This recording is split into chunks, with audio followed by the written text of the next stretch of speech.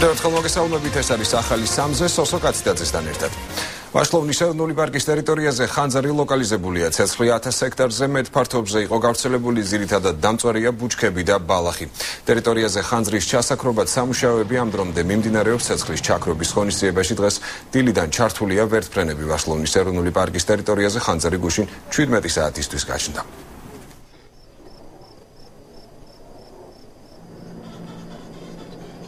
მე აგიხსენეთ ყველაფერი, მოვჩით მაგაზე საუბარს.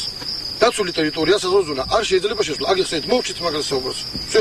მე შემიძლია გითხრათ, რომ არ ვიცი, რა თქვენი განწყობიდან გამომდინარე, თქვენ და სამწუხაროდ და ჩვენ და საბედნიეროდ არ არის აქ ის ხელაზარა რომ რაღაცა ცხოვრთა სამყაროს განადგურებაზე ვისაუბროთ.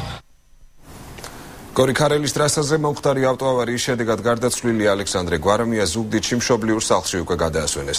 გვარამი ოპელის მარკის ავტომანქანას მართავდა ავტომანქანაში მყოფი სხვა პირები კატასტროფის ბრიგადებმა გორისა და ქარელის საავადმყოფოებიდან თბილისში გადმოიყვანეს. შეგახსენებთ თბილისის ენაკილესელიძის მაგისტრალზე გუშინ 18 საათსა და 55 წუთზე ავტოსაგზაო შემთხვევა მოხდა, რომელსაც ერთი ადამიანი სიცოცხლე ემსხვერპლა. რვაკი მძიმედ დაშავდა შინაგან საქმეთა სამინისტროს ინფორმაციით, ფაქტზე აღძრულია სისხლის სამართლის საქმე. მიმდინარეობს გამოძიება. გამოძიების ინფორმაციით ავტომობილმა Opel Astra-მ ღერძულა ხაზი გადაკვეთა და საწინააღმდეგო მიმართულებით მოძრავ სახელმწიფო დაცვის სპეციალური სამსახური სამსახურის ავტომობილს შკოდა სკაუჩი ეჯახა ოპელ ასტრას მძღოლი ადგილზე გარდაიცვალა. რას ხრიალები ჩამორთ ეკამა და კამერას ხელი გაუშვი რას მეკაცები ჩამ გამორთ კამერას ხელი გაუშვი თორე კამერას თორე რა. ვის გაშე შენ? გამორთ ეკამა თუ კამერას ხელი გაუშვი კამერას ხელი გაუშვი ხელი გაუშვი კამერას ხელი გაუშვი უმძიმესი პაციენტიც იყო იყო ნაკლებად მძიმე და იყოს ამამტყოფი, რომელსაც შეიძლება დამატებითი გამოკვლევა დიაგნოზის დასასუსტებლად. ანუ სხვადასხვა სიმძიმის და რამდენი ადამიანი იყო ეს რო 4. გუშინ მოხდარი ავტოავარიის შედეგად დაშავებული ბავშვის მდგომარეობა სტაბილურია, ამის შესახებ იაშვილის კლინიკის ქირურგიული განყოფილების ხელმძღვანელმა განაცხადა. ხუდუშაურის სახელობის სამედიცინო ცენტრში გადაიყვანეს ავტოავარიისას დაშავებული სამი პაციენტი. ბოლო ინფორმაციით პირდაპირ ეთერში კვანცა პაპავაძე ისაუბრებს, კვანცა გისმენთ.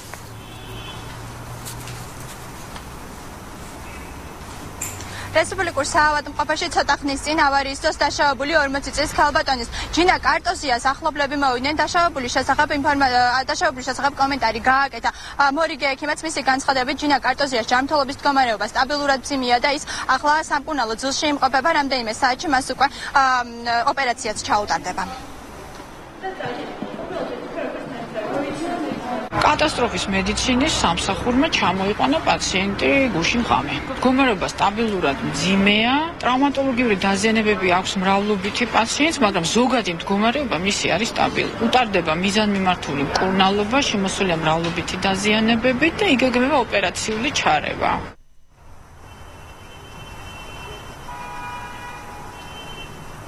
რაც შეეხება სახელმწიფო დაცვის სამსახურის თანამშრომლებს, რომლებიც მეორე მანქანაში იმყოფებოდნენ, უკვე დადასტურებული ინფორმაციით ერთ-ერთი მათგანი გადაყვანილია ინგოროყვას კლინიკაში. კარტოზიას ახლობლების თქმით, გავრცელებული ინფორმაციით Opel Astra პრეზიდენტის დაცვის ესკორტის მანქანას შეეჯახა.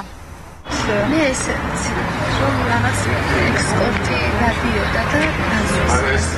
რა იქაც არიან და ხათა სად არიან ეს ადამიანები აი ეს დაშავებულები ესკორტის? მითხრა მე მგონი გორში. გორში არიან ხო? ძალიან ფრთხილი იყო. საჭესთან შამის დროს ძალიან ფრთხილად დაკარებდა.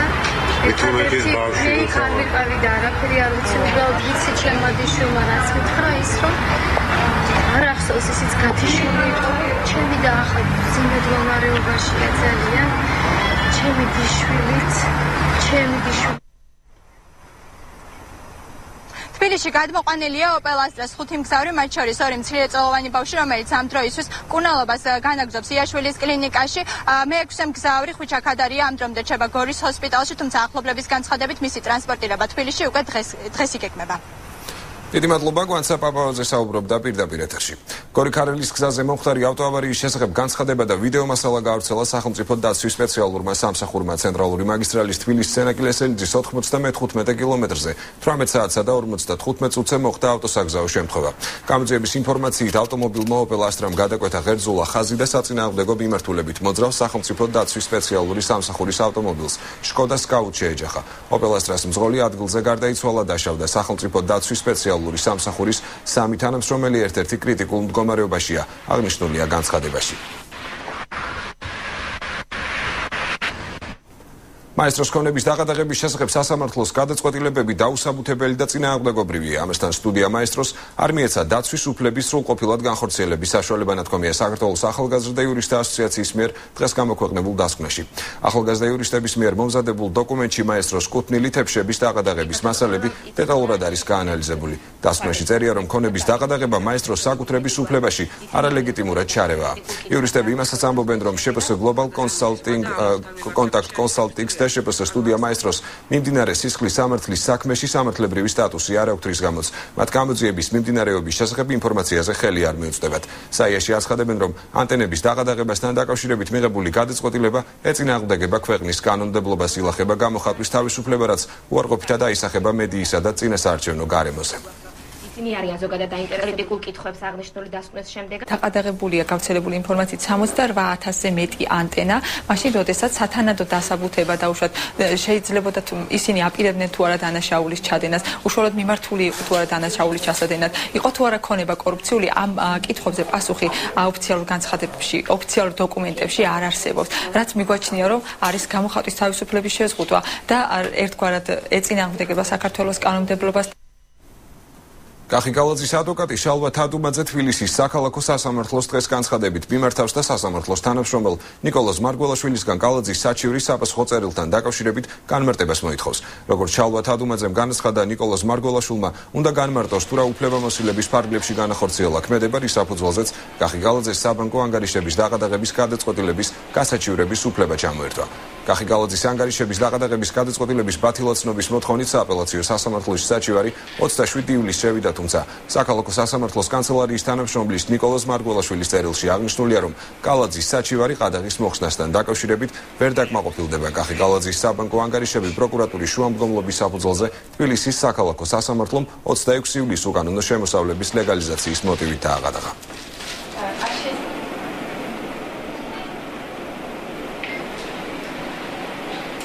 სააპელაციო სასამართლოში შეტანილ საჩივარზე იღებს სააპელაციო სასამართლო საგამოძიებო კოლეგია გადაწყვეტილებებს და არა კანცელარიის თანამშრომელი. გარდა ამისა, თუ თქვათ კახაკალაძე არ არის ბრალდებული და არ არის მხარე და მას არ აქვს გასაჩივრების უფლება ან დაუშვებელია მსგავსი საჩივარი, ამაზე პასუხს იძლევა სააპელაციო სასამართლო და არა კანცელარიის თანამშრომელი.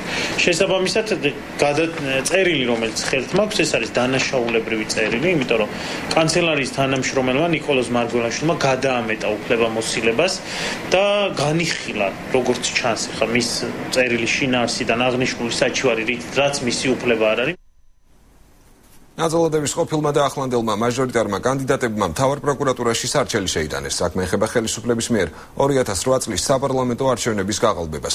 როგორც ეკაბესელია და თეატრულუკიანი ამბობენ, გასული არჩევნების გაყალბების უტყუარი ფაქტი ის ვიდეო მასალაა, რომელიც 5 ივლისს მაესტროს ეთერში გავიდა. საუბარია გადაცემა აგრეტაციის გარეშეზე, რომელშიც ნაციონალური მოძრაობის ნაზოლადების კოორდინატორი საუბრობს საპარლამენტო არჩევნების გაყალბებასა და მის მეთოდებზე. ქართული ოცნების წარმომადგენლები ხელისუფლების მხრიდან რეაგირებას ელოდებიან, როგორც კოალიციის წევრები აცხადებენ ვიდეო მასალას, სადაც თვითმხილველი საუბრობს უკვე გადათარგმნილია ინგლისურ ენაზე და უახლოეს მომავალში საერთაშორისო ორგანიზაციებს გაეგზავნება.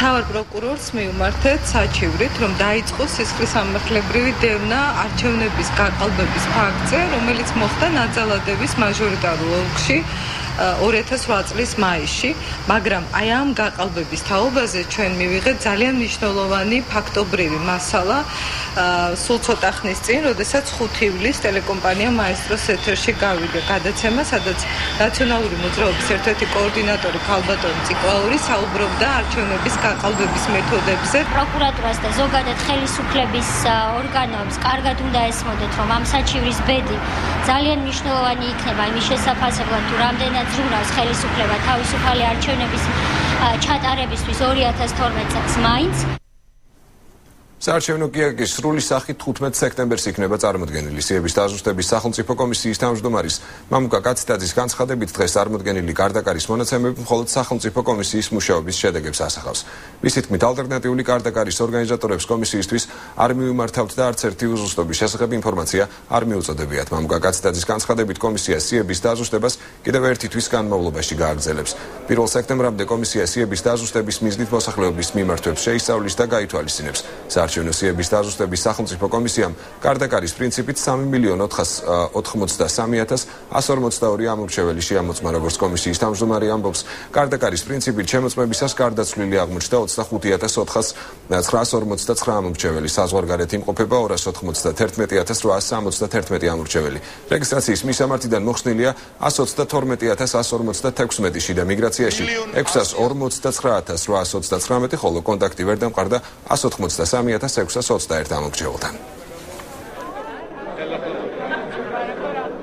მილიონ 100000-ზე მეტი შესწორება გაკეთდა 3 მილიონ ნახევრიან ბაზაში. აქედან გამომდინარე ორი კონკრეტული სტატუსი, რომელიც მათ გავლენა იქონია უშუალოდ სიაზე, ეს არის საზღვარგარეთ გასულები და რეგისტრაციის მისამართიდან მოხსნილები, ისე როგორც სიიდან ამოღებული გარდაცვლილები აჭარბებს 9 მილიონს ხლიანობაში. უაღრესად მნიშვნელოვანია ის სამუშაო, რომელიც ამ კომისიამ ჩაატარა ერთი წლის განმავლობაში არასამთავრობო სექტორთან სამოქალაქო საზოგადოებასთან, საერთაშორისო ორგანიზაციებთან ერთად და ვფიქრობ ეს სამუშაო ერთხელ და სამუდამოდ წერტილს უსვავს ნებისმიერ სპეკულაციას იმის თაობაზე, თუ რამდენად ზუსტია საარჩევნო სიები საქართველოში. დემოკრატია არ ნიშნავს მხოლოდ ხმის მიცემას. დემოკრატია ნიშნავს, რომ ვიცი ჩემზე რაღაც არის დამოკიდებული. მივესალმებით მსგავს პროცესებს, რადგან თუ კი ვიცი, რომ ყველაფერი ცუდათაა და ჩემზე არაფერია დამოკიდებული, აღარ მექნება იმედი. და რატომ გამივალ არჩევნებზე?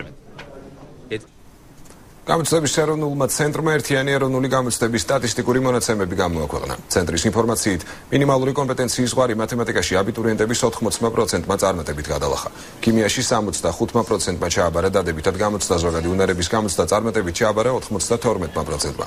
ერთიანი ეროვნული გამოცდების საბოლოო შედეგები კი 25 აგვისტოს გახდება ცნობილი.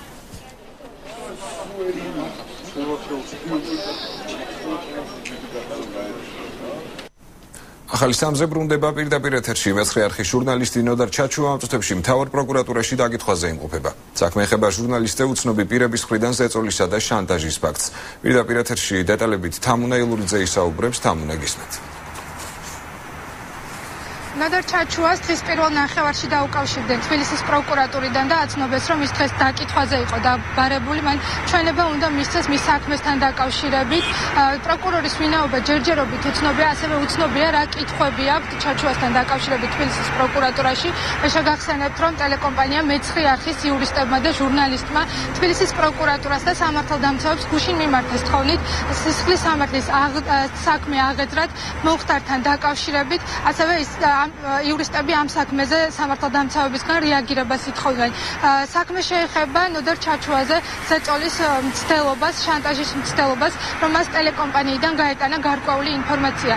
უფრო ვრცლად რა ახალი ინფორმაცია აქვს სამართალდამცავებს მომხდართან დაკავშირებით და ცნობილია თუ არა იმ პირების ვინაობა, ვინც ნოდარ ჩაჩუაზე ზეწოლას ცდილობდა, ამის შესახებ მოგვიანებით გახდება ცნობილი, რაც იურისტები და ჟურნალისტი თბილისის პროკურატურას დატოვებენ.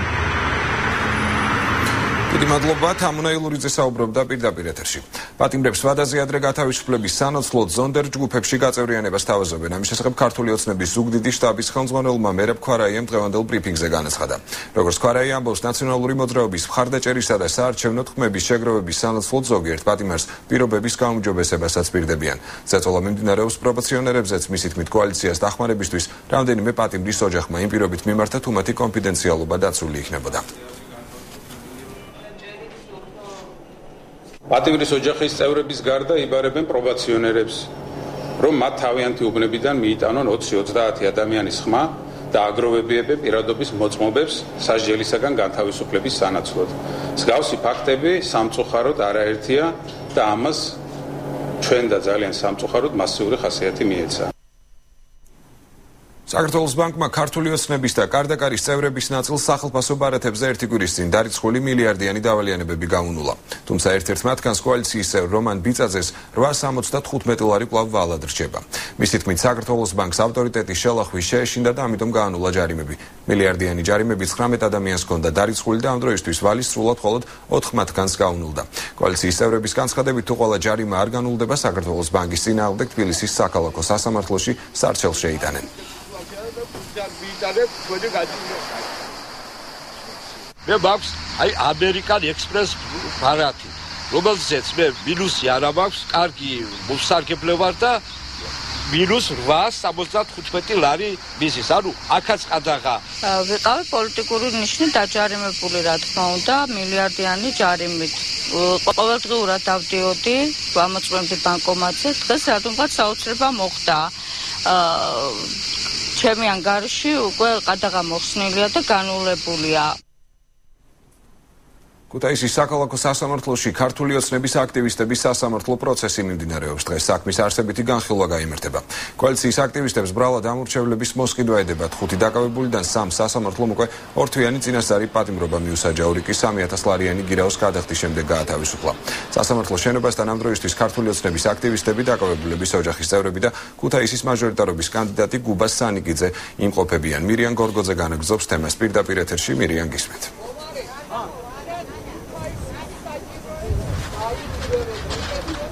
დიახ, ჩვენ ახლა ვიმყოფებით სწორედ ქუთაისის საქალაქო სასამართლოში, სადაც ქართული ოცნების ხუთი აქტივისტის საქმეზე არსებითი განხილვა უნდა შემდგარიყო, თუმცა როგორც ეხლა უკვე დაზუსტებულად ვიცით ინფორმაცია, სასამართლო პროცესი არ შემდგარა და ის გადაიდო 21 რიცხვისათვის.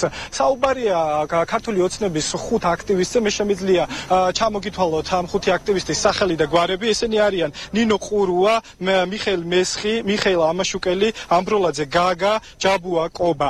ამ ადამიანებს ბრალად ედებათ ამომრჩევლების მოსყიდვა. საუბარია ქართული ოცნების აქტივისტების მიერ ფლაიერების დარიგების ფაქტზე. ამ ფლაიერებში იყო ერთი ნაწილი, სადაც შეეძლოთ ამომრჩევლებს ზოგადად მოსახლეობას ჩაეწერათ თავიანთი ოცნების შესახებ. გამოძიება სწორედ ამ ხუთ აქტივისტს ედავება იმას, რომ ეს ადამიანები აქტივისტები ამომრჩევლებს თხოვდნენ აი ამ გრაფაში ჩაეწერათ კონკრეტული მატერიალური ღირებულების რაიმე ნივთი და შემდეგ აი ამ ნივთის ანაზღაურებას, აი მატერიალურ ანაზღაურებას პირდებოდნენ. გამოძიების ასეთ სწორედ ეს არის ამორჩევლების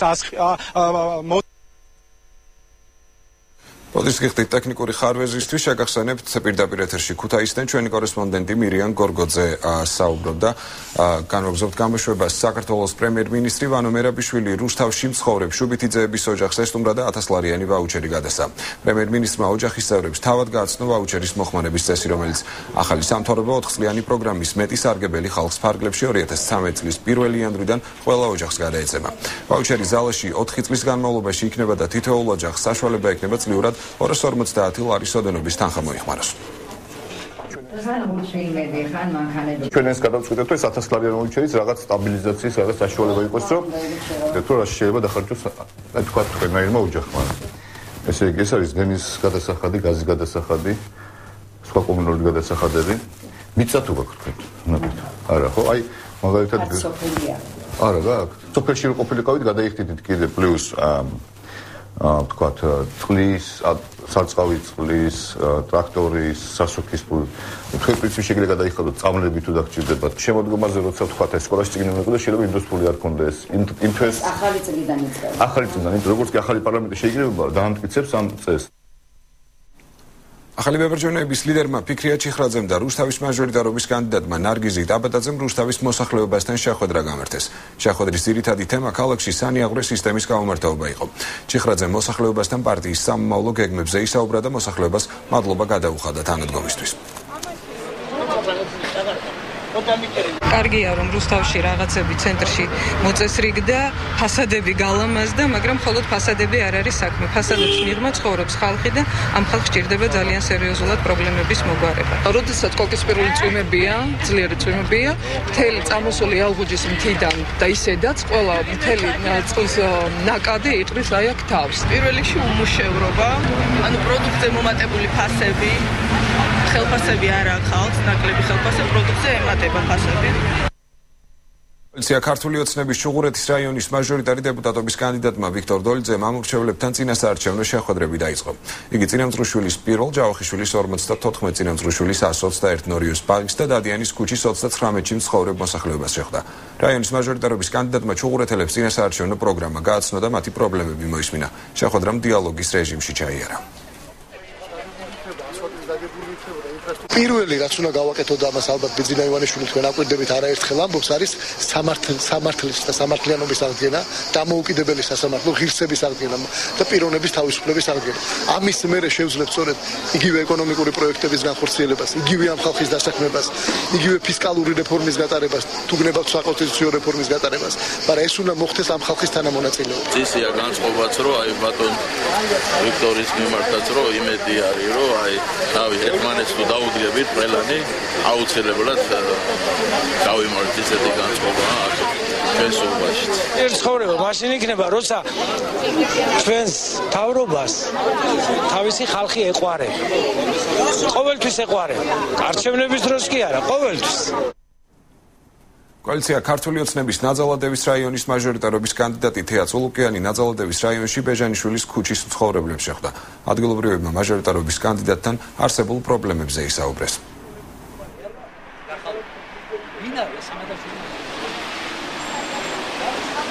ჩვენ ვართ ცოტნე დადიანი 303-ში, სადაც უკვე რამდენიმე დღეა ამოდის წყალი ასფალტის ქვეშ ფენებიდან.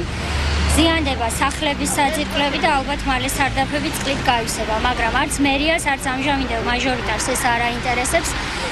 მე მოვედი და შევხვდი მოსახლეობას და დავპირდი, რომ ის ვისაც ეს ეხება, ვაიზულებ, რომ ეს წყლის დინება შეწყდეს და რაც თავარია, მერია მას შემდეგ რაც შეაკეთებს მაჟორიტართან ერთად ამ ყველაფერს აუცილებელია რომ ამ წყლის გადასახადი ხალხს არ გამოუწეროს ქვითრად, იმიტომ რომ ეს წყალი დღეს დინდება ამ მოსახლეობის ჯიბიდან.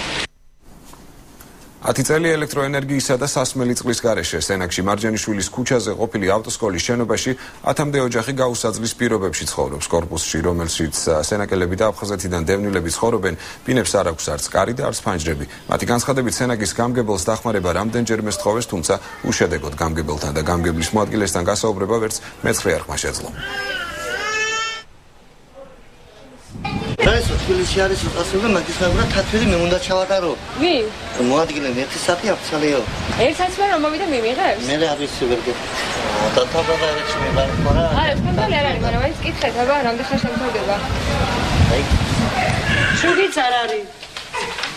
რომები არ გვაქვს? აბა თუ შეგიძლია დაგეხმაროთ. რა ახლა შუქი არა წყალი თავის თავადების სადმოდის და მე ხუთი შვილის დედა ხუთი შვილის დედა მრავალშვილიანი რო ხარ. ეს თავშესაფარი არა მაქვს ორი მარიდი ბავშვი მყავს. რამოდენიმეჯერ მიმართა ახალ გამგებელს. ადამიანსთან პირადად ვიყავი შესული იმიტომ უკიდურეს მდგომარეობაში ვიყავი. ეპილეფსი დაავადებული ბავშვი მყავს არანაირი საშუალება მე არ გამაშია ქმარის საოპერაციო. სახლში და კაი ჩემს განცხადებით რო შევედი ადამიანით რა გაუგებარია ეს შენი განცხადება ხდებაო და ჩვენ რო ვარანაირად თქვენს ახალ ჩვენ ვერ ეხმარებითო ქუთაისის ახალგაზრდა იურისტთა ასოციაციის ოფისში არასამთავრობო ორგანიზაციების საკოორდინაციო შეხვედრა გამართეს. შეხვედრაზე წინა თვეში განხორციელებული აქტივობები შეაჯამეს და სამომავლო გეგმებიც დასახეს. მსგავსი ტიპის შეხვედრები თვეში ერთხელ იმართება, რა დროსაც არასამთავრობო სექტორი მიმდინარე პროექტების შესახებ ინფორმაციას მედიის წარმომადგენლებს აწვდის. საერთოდ ქუთაისის პერიოდმა აღმოჩნდა პერიოდში დაასრულა პროექტი ჩვენი თიკალაკშვილები ვართ უკვე დონოს გადაეგზავნა შესაბამისი საბოლოო ანგარიში ასევე გარკვეულწილად ჩვენი ლისტიდან დაიწყოთ ორი ახალი პროექტის განხორციელება. ერთი არის ვიზდარისთვის ირჩევდა მეორე ჩემი ხმა პარლამენტში ჩვენ ყოველთვის დიდი ინტერესით უსმენთ იმ მიმდინარე პროექტებს რომელიც ადგილობრივ არასამთავრობო ორგანიზაციებს აქვს და მათ შორის ჩვენ ძალიან დიდ როლს ვთამაშობთ და მონაწილეობთ იმ პროგრამებში რომელიც დაკავშირებულია არალეგალი თუ ლეგალი მიგრანტების უკან დაბრუნების და მათ მხარდაჭერას ახალი სამზე ბრუნდება პირდაპირ ეთერში თეთრი წყაროს მუნიციპალიტეტის სოფელ მარაბდის მოსახლეობის ნაწილმა ეკონომიკის სამინისტროსგან სასოფლო სამეურნეო მიწის ნაკვეთების შესყიდვის ხელშეკრულება ვერ მიიღო. ადგილობრივები ამ ფაქტს მათ პოლიტიკურ აქტივობას უკავშირებენ. მარაბდელები ამბობენ, რომ ეგრეთ წოდებულ შავსიაში ქართული ოცნების რაიონული ოფისის გახსნაზე დასწრების გამო მოხდნენ. სოფლის რწმუნებულებმა კი მეცხრე ართან საუბარში განაცხადა, რომ პრობლემა ტექნიკური ხარვეზითაა გამოწვეული და ხელშეკრულებას ყველა ოჯახი მიიღებს. პირველ რიგში აი ეს გზები, საშინელი გზები გვაქვს, გაზი არა გვაქვს, წყალი არა გვაქვს. სკოლა კი ნახეთ როგორ მდგომარეობაშია და აა ბოძები. აი რაც სოფელს ჭირდება, ჩვენ არაფერი არ გავგვაჩინა. გამრიცხვიანება არ გაუკეთებიათ უკვე მე რამდენი წელიწადია არც მახსოვს კარგად. საერთო სოჭიკით ვიხდით გადასახადებს და თან ვამატებთ ზედმეც ვინც დახარჯავ ჩემს სოჭიკის რაც წერია, იმას კი არ ჯერდებიან და თან ვამატებთ კიდევ იმას. არ მინახია საერთოდ არა. არავინ არ გვინახია, გვპირდებიან და არაფერს გვიკეთებენ. თეთრიწყაროს მუნიციპალიტეტის სოფელ აბელიანის ერთადერთი სკოლა კი დანგრევის პირასაა, როგორც ადგილობრივები ამბობენ, შენობა სარეაბილიტაციო სამუშაოები არასდროს ჩატარებია. ნაგებობა იმდენად ავარიულია, რომ კედლებიდან ბათქაში ცვივა, წვიმის დროს კი ყველანი ვრთისველდება. სკოლაში არ არის ელექტროენერგია, სასმელი, წყალი და საკანალიზაციო სისტემა 50-მდე მოსწავლე წყალს საერთო ჭურჭლიდან სვამს. ერთადერთი დახმარება, რომელსაც სკოლა ადგილობრივი მუნიციპალიტეტიდან იღებს შეშა.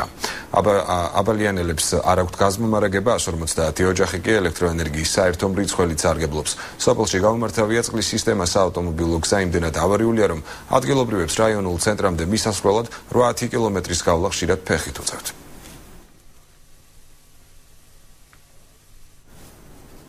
სკრისტევნილთა ჩასახლებაში მოსახლეობის პრობლემების გასაშუქებლად მისულ მეცხრე არხის გადამღებ ჯგუფს მუშაობის საშუალება მამასახლისებმა არ მისცეს. მათი აგრესია მას შემდეგ გაიზარდა, რაც ერთ-ერთმა დევნილმა კამერის წინ ხელისუფლების მხრიდან დახმარების არასწორ განაწილებაზე დაიწყო საუბარი. აქტიურობით გამოირჩეოდა დავით სურბიაშვილი, რომელიც ადგილობრივების თქმით ჩასახლების მამასახლისი და ნაციონალური მოძრაობის წევრია. მე არაფერი მივიღე. ეთქობა ჩა არ გეწერა. მივიტანა და არ გაფ არ ისაქნეს მივიტანა ქაღალდები ქალმა ისაქნა მაგრამ მე ისა ჩემს მეტი ყველა მიიღო. შიგნიდან რემონტებს კვიდების ისის გაფუჭებულია კედელი, ხელახლა აპირებენ გაკეთებას მის კედლისას. წლის ბოლომდე უნდა დასრულდეს ყველა. გორის რაიონის სოფელ ზეგდულეთის მოსახლეობა ადგილობრივ ხელისუფლებას სოფლისთვის გამოყოფილი თანხების არამიზნობრივად ხარჯვაში ადანაშაულებს.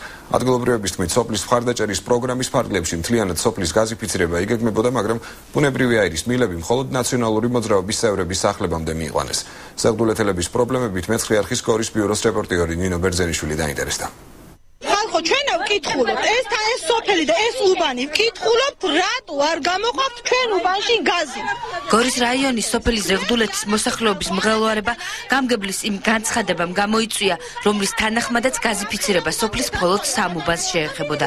ადგილობრივების თქმით ბუნებრივი აირის მილები მხოლოდ ნაციონალური მოძრაობის წევრების სახლებამდე გაიყვანეს მიუმართეთ გამგი იმაში რა საბჭოში ჩავედით შევეკითხეთ რატო ჩვენ და რატო თქვენ მე არ მინდა გაზიო, ისე გამოიყვანეს, მე გაგებაში არ ვიყავიო. საერთოდ ჩამოხსენ ტრუბები და წაიღეო. პასუხი, ასეთი პასუხი. მეუბნება, როგორ ჩამოხსნა მიხო, თუ არ გინდა, ჩამოყარე ტრუბები, არც შენ და არც ჩვენ გაზი მეუთხარ.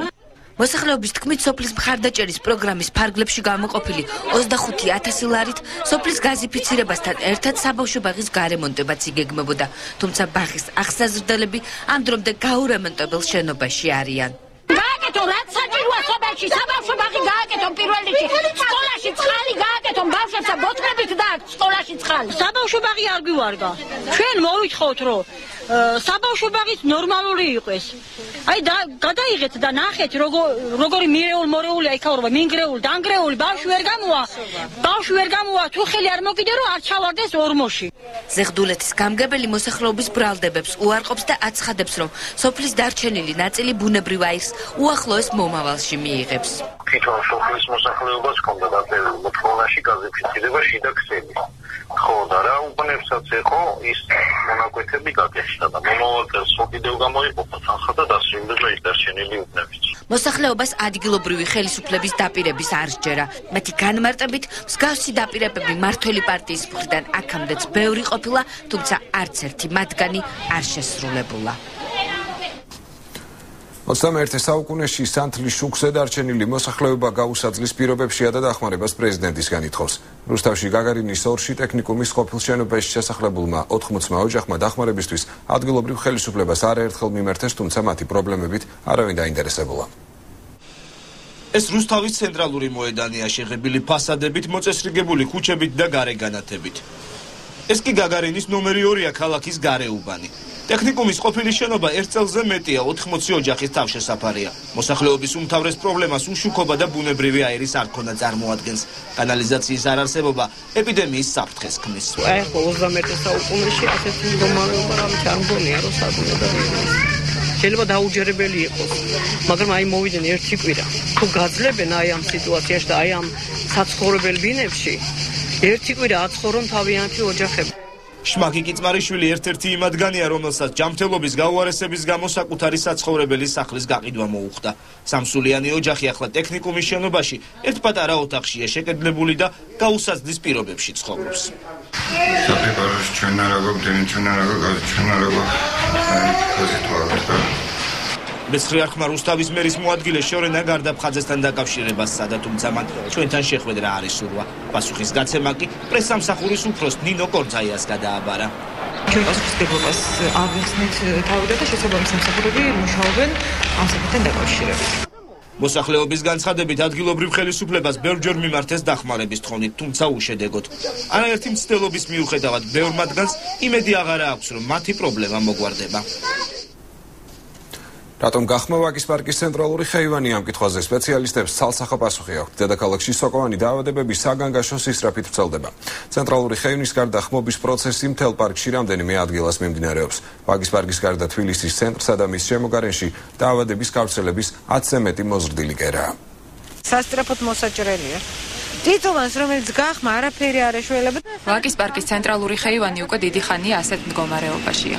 ორი დამოუკიდებელი ლაბორატორიის მიერ ჩატარებულმა კვლევამ ქალაქის ცენტრალურ პარკში რამდენიმე სახეობის სოკოვანი დაავადება გამოავლინა რომელიც სწრაფად ვრცელდება და ჯამრთელ ხეებზე გადადის რაც ყველაზე მთავარია, რაც შეიძლება ჩქარა მოიჭრას გამხმარი ხეები და კატანილი იყოს ტერიტორიიდან აუცილებელია წამლობამდე გაიწმინდოს მცენარეები გამხმარი ტოტებისგან და მეორე ჩატარდეს კომბინირებული წამლობა.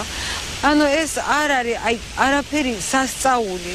ეს არის უბრალოდ ხის დაავადება, რომლის შველა შესაძლებელია. ასოციაცია უსაფრთხო სივრცის ინფორმაციით კვლევამ ვაკის პარკის გარდა სოკოვანი დაავადებების გავრცელების საგანგაშო მასშტაბი თითქმის მთელ ქალაქსა და მის შემოგარენში გამოავლინა. დაავადებები გავრცელებულია როგორც პარკის ცენტრალურ ხეივანში, ასევე მისი კერები შეიმჩნევა პარკის მთელ ფართობზე. ხეები უნდა ამოიძირკოს და გადატანილი იქნას ფართობიდან. ასევე საჭიროა გამხმარი ტოტების მოჭრა, ფართობიდან გატანა და დაწვა.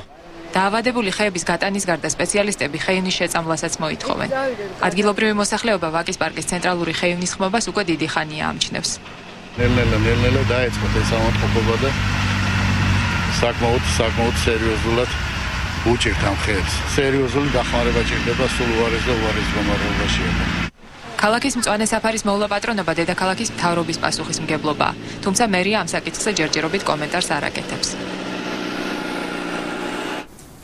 საერთაშორისო გამჭვირვალობა საქართველოს წინეს არჩევნოთ მედიაში არსებული პრობლემები შეისწავლა. კვლევის სახელწოდებაა ქართული მედია არჩევნების წინ, რომლის დროსაც ჟურნალისტებზე ზეწოლა და უშუალობის გარემო ვიდეო გადაღების დროს დაპირისპირება მაღალი რანგის შეხვედრების გაშუქების და სირთულეები გამოვლინდა. საერთაშორისო გამჭვირვალობა საქართველოს წარმომადგენლების აზრით ძალიან მნიშვნელოვანია მედიაში არსებული სიტუაციის განხილვა, ისეთი მნიშვნელოვანი მოვლენის წინ, როგორც არჩევნებია კვლევა G-Media პროექტის ფარგლებში ჩატარდა. კვლევის შედეგად გამოიკვეთა, რომ არსებობს ადგილობრივ მედიასა და ჩინოვნიკებს შორის გულისხმობა ადგილობრივი ხელისუფლების წარმომადგენლებს შორის სამწუხაროდ ანტაგონისტური დამოკიდებულება მთელი რიგი ფაქტები დაფიქსირდა განსაკუთრებით მაისის თვეში, როდესაც ფიზიკური ან სიტყვების შეურაცხყოფას ეწოდა გახორციელდა მედია საშუალებებზე. ლეიბორისტული პარტიის წევრმა კახა ზაგანიამ დღეს გამართულ პრესკონფერენციაზე ავღანეთში სამშვიდობო მისიის შესრულების დროს დაღუპული ჯარისკაცის გივი ფანცულაიას შესახებ ისაუბრა. ლეიბორისტები მოუწოდებენ ხელისუფლებას გამოიყვანონ ქართველი სამხედროები ავღანეთიდან. შეგახსენებთ ჯარისკაცი ფანცულაია 6 იანვარს თალიბების თავდასხმის დროს მძიმედ დაიჭრა 26 ივლისს კი გორის ჰოსპიტალში გარდაიცვალა. ჯარისკაცებთან მიმართებაში ის დიდი სიამაყითაზე მარტო მხარი დაეჭირა და ჩვენ ამერიკის ავღანურ ომში ქართველი ბიჭების ჩახოცვა გრძელდება. როგორც ცნობილია, ლეიბორისტული პარტიის მიერ შეტანილი სარეფერენდუმო საკითხი ავღანეთიდან ჩვენი ჯარის გამოყვანის შესახებ CSKO-ში ივანიშვილ სააკაშვილის უმრავლესობამ ჩააგდო. და აი ამ რიგად ჯარისკაცი ფანცულაია შეეწირა კრიმინალური პრეზიდენტის და კრიმინალ ოლიგარქის ნატოურ ვნებებს. ჩვენ კიდევ ერთხელ მოუწოდებთ სააკაშვილ ივანიშვილის კრიმინალურ ხროვას. ნუ გააგრძელებენ ბანაობას ქართველთა სისხლში და მოვითხოვთ დაუყოვნებლივ გამოყვანილ იქნას ქართული ჯარისკაცები ამ სასაკლაოდან.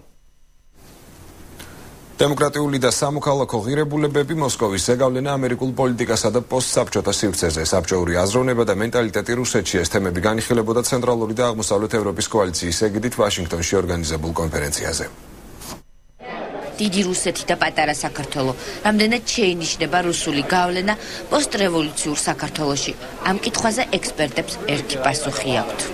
საქართველოსთან სულ ახლახან დაუბრუნდი სადაც ბევრი რუსული ინვესტიცია. ფნეშეკონომ ბანკის ბილაინისა თუ სხვა რუსული აქტივების სახით.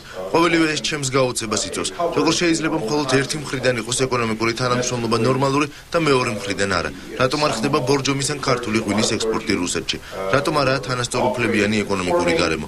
რუსეთის საქართველოს დასჭილი ბავშვით ერთება ვაშინგტონში გამართული კონფერენციის მთავარი იდეა ექსპერტების დონეზე იმ საშუალებების ძიება იყო, რამაც ორ სახელმწიფოს შორის დიალოგს უნდა შეუწყოს ხელი. ძალიან მაშფოთებს, როდესაც რუსეთში დახურულ კარს მიღმა თუ ფორმალურ შეხვედრებზე საქართველოს დამოუკიდებლობის საკითხს უპერსპექტივოდ მიიჩნევენ და იმ საუკუნეში დაბრუნებას უწინასწარმეტყველებენ, როდესაც საქართველოს მხოლოდ რუსეთის თანადგომის იმედი ჰქონდა. ამგვარი დამოუკიდებლობა სხვა თუ არაფერი დანაშაულია. რუსეთს ავიწყდება, რომ საქართველოს 1918-1921 წლებში დამოუკიდებელი ქვეყანა იყო, რომელიც რუსულმა არმიამ ხელყო. ურთიერთობები მოსკოვთან ამერიკაში ისევ აქტუალურ თემად რჩება. გამოშვებას უცხოეთიდან მიღებული ინფორმაციით განვაგზობთ რუსი ოპოზიციონერი ლიდერის ალექსეი ნავალნის წინააღმდეგ სისხლის სამართლის საქმე აღიძრა საგამოძიებო კომიტეტმა ნავალნის სხვისი ქონების მითვისების მუხლით წაუყენა ბრალი.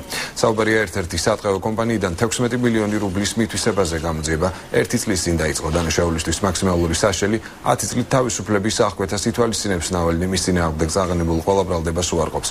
ოპოზიციონერ ბლოგერს საგამოძიებო კომიტეტში ქვეყნიდან გაუსვლელობის ხელწერილი დაადებინეს. ფრანგი ჯარისკაცები ავღანეთის სურობის რეგიონს ტოვებენ. სურობის ავარაუდოდ უშუალოდ ავღანური კონტროლის ქვეშ გადავა საფრანგეთის სამხედრო შეერაღებას ვერტფრენებით ეზიდებიან პრეზიდენტი ფრანსუა ოლანდი ავღანეთს მაისში სტუმრობდა ნატოს გეგმით წლის ბოლოსთვის. 3400-მდე ფრანგი ჯარისკაცი დატოვებს ავღანეთს მაგრამ ფრანგული კონტინგენტის ნაწილი მომავალ წელსაც დარჩება. ავღანეთიდან საფრანგეთის კუთვნილი 14 ვერტფრენი 900 სამხედრო მანქანა და 1400 კონტეინერია გადმოსადენი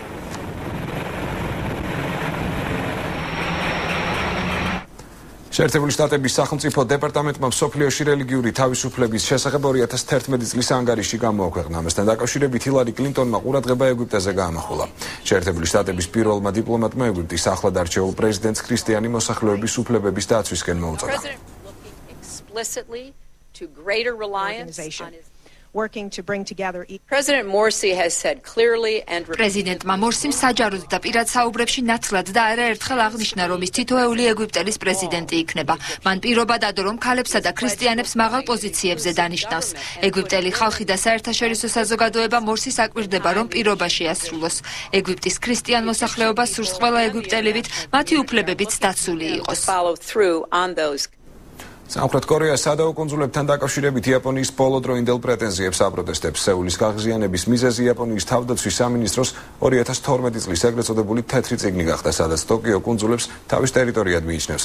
იაპონიის მიმართ ანალოგიური პრეტენზიები აქვს ჩინეთსაც. პეკინმა რამდენიმე დღის წინ კვეთრი განცხადებებიც გააკეთა. სადავო კონსულებთან დაკავშირებით სამხრეთ კორეის საგარეო და თავდაცვის სამინისტროებმა საგანგებო განცხადებები გააკეთეს და ტოკიოს მკაცრი ზომებით დაემუქრნენ.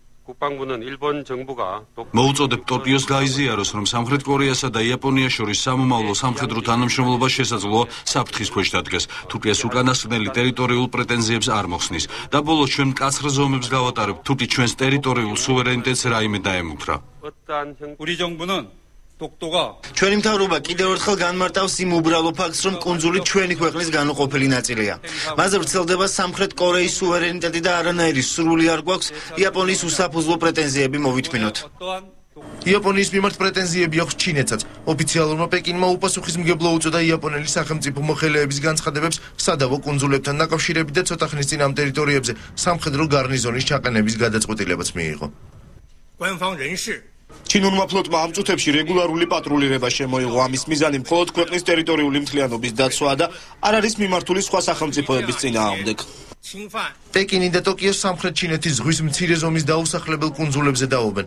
ვითარება მიმომხილველების სამხრეთ კორეის, ჩინეთისა და იაპონიის დავას ამ რეგიონში ნავთობის დიდი მარაგის არსებობით და მასზე კონტროლის დაწესების სურვილით ხსნიან. ტიმოშენკოს აკიმის განცხადებით ყოფილი პრემიერის ჯანმრთელობის მდგომარეობა ჯერ კიდევ მძიმეა. ამის გამო იულია ტიმოშენკო სასამართლოზე ვერ გავა. ამასთან უკრაინის ჯანდაცვის მინისტრის ცნობით ტიმოშენკომ, რომელიც ძალაუფლების პოროტად გამოყენებისთვისაა დაპატიმრებული, კურნალობის კურსი უკვე დაასრულა. ტიმოშენკოს დაპატიმრება დასავლეთის ქვეყნებმა გააპროტესტეს და შერჩევითი სამართალი უწოდეს. ევროკავშირმა კიევთან თავისუფალი ვაჭრობის მოლაპარაკება შეაჩერა და ტიმოშენკოს გათავისუფლება ურჩია. პრეზიდენტი იანუკოვიჩი ამაზე უარს აცხადებს ტიმოშენკოს წინააღმდეგ სასამართლო მოსმენა დღეს უნდა დასრულდეს.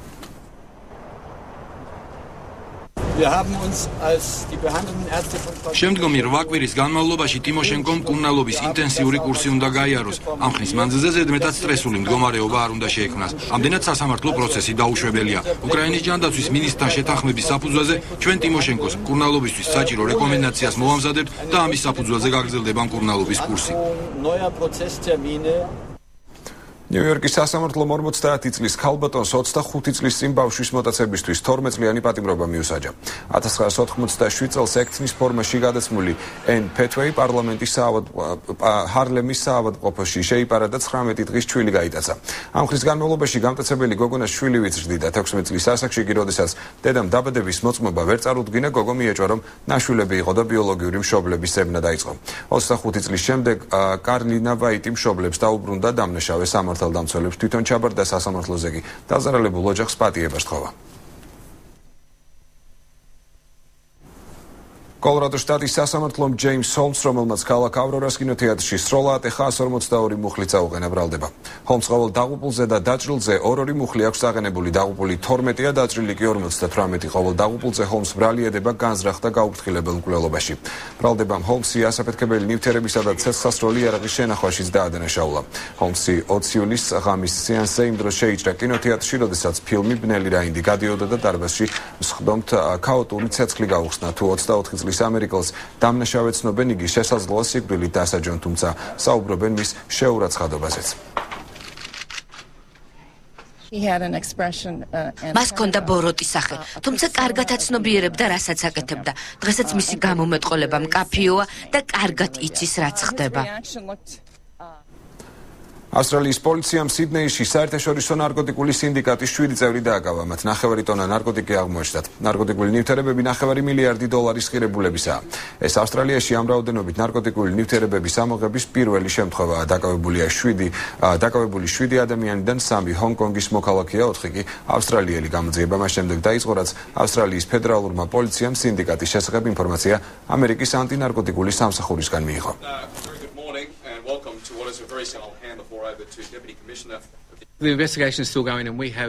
გამოძიება მიმდინარეობს და იმედი მაქვს სხვებსაც დავაკავებთ. თავარია გავიდეთ იმ ჯგუფზე, ვინც ნარკოტიკების ქვეყანაში შემოტანას გაუკეთა ორგანიზება.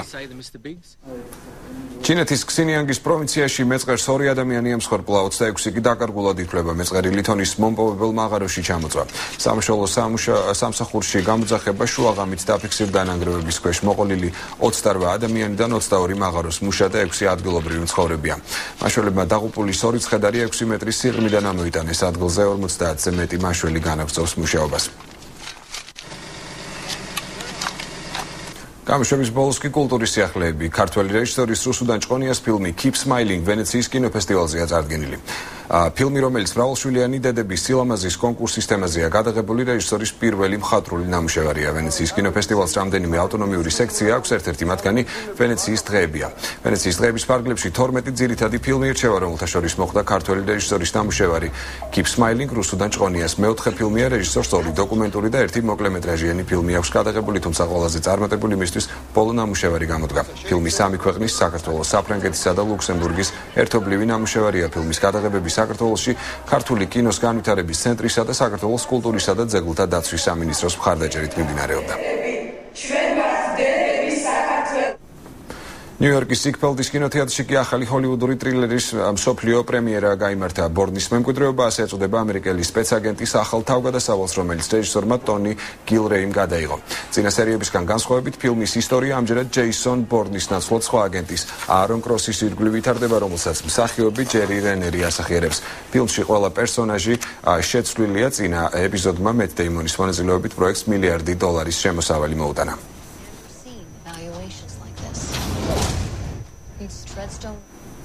ეს იყო ანდრეისთვის ბოლო ინფორმაცია როგორ განვითარდება? მოვლენები ამის შესახებ 6 საათზე. ვისაუბრებთ დაგვრობთ